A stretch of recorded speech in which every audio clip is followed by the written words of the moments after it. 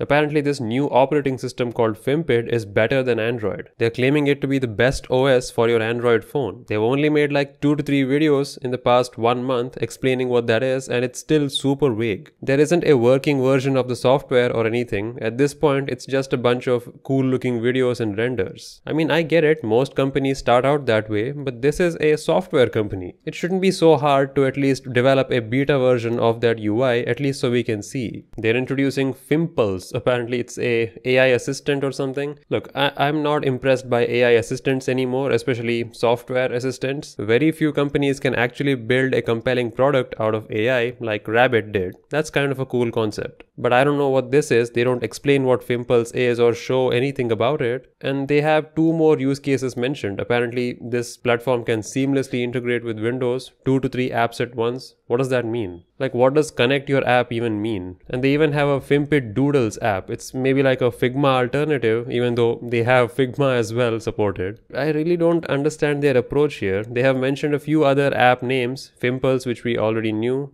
there's Fimpid Cloud, Omniverse, Dropwave, multilingual support. I mean, Android already has multilingual support. Multitasking? You see what I mean, right? It's all over the place. There is no clear message as to what this thing stands for. Apparently, it allows for seamless multitasking and it's designed to be lightweight, I guess. Striking visuals and customization and ongoing support. For what? It's an operating system. What exactly do you need support for? And there's nothing else in this page as you can see. If you want to contact them, you have to join their Discord. And to find out more, I had to dig through their terms and conditions. They do have a few apps listed here. Apparently there's even a email client called Female.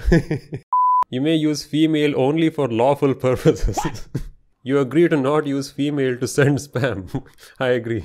I don't like where this is going. Oh man, that's a hilarious name. And in this same privacy and cookie policy, we learn a few other things, like the Omniverse they mentioned. Apparently, it's a social media platform. Is that really what we need? Like, is this how you make uh, an operating system better than Android by making your own OS? You can engage with users globally. Yes, that's what social media means. And they still gather personal details from you, like they collect your data, so they're not exactly better than, say, Instagram or any other app, at least in terms of user experience and privacy. Let's see, we may gather data regarding your engagement with other users, the content you access, your browsing activities on the platform. So, what's the difference? And again, there is nothing mentioned in the homepage. Like, at least you could have mentioned a couple of lines or shown a concept diagram at least of these apps. I understand that it's super early, but I'm just pointing things out as I see. There should be a lot more information shared, especially now that you are pushing out videos to promote your apps and services. Well, that was about it. I couldn't really find much more details about this. It's basically brand new. In fact, this video of mine is probably one of the earliest ones ever made. So you tell me what you think about Fimpid.